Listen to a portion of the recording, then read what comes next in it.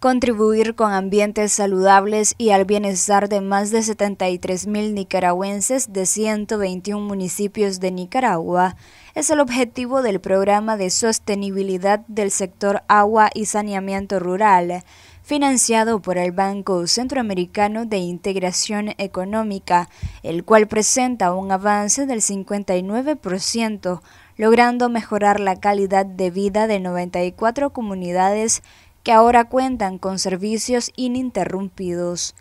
Recientemente, un equipo del BESIE en Nicaragua visitó las comunidades beneficiadas como Sinaí, El Delirio, Los Corrales, La Cañada y Agua Fría en el municipio Ciudad Darío, en el departamento de Matagalpa, para conocer los avances de las obras relacionadas con la instalación de líneas de conducción y distribución de los servicios de agua potable, el rediseño de un nuevo pozo en la zona y la construcción de un tanque de almacenamiento de agua, así como la instalación de soluciones de saneamiento en las viviendas rurales mediante el Programa de Sostenibilidad del Sector Agua y Saneamiento a nivel nacional. Se prevé generar 4.000 empleos directos en los sitios donde se desarrollan las obras. Además, se beneficia a familias de los municipios de los departamentos de Estelí,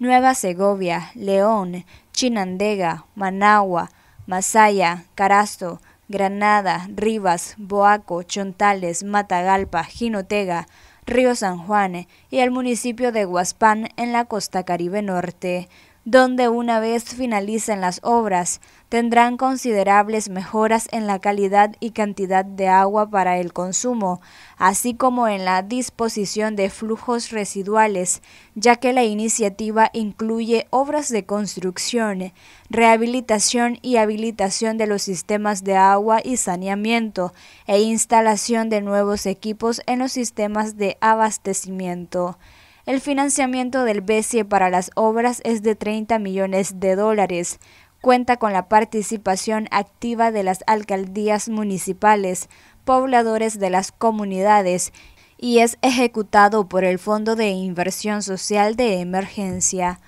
Para Noticias 12, Luisa Centeno.